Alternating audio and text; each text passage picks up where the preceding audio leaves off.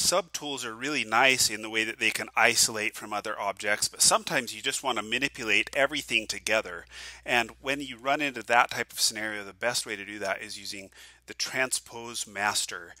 You can see there's two buttons here up top that you're going to be using mostly.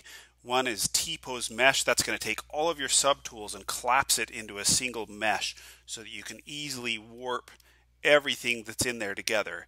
Then when you're done and you like what you're doing, you can go back to Z plugin and click T-pose to sub T and it will split everything out again into separate subtools again now with the distortions applied.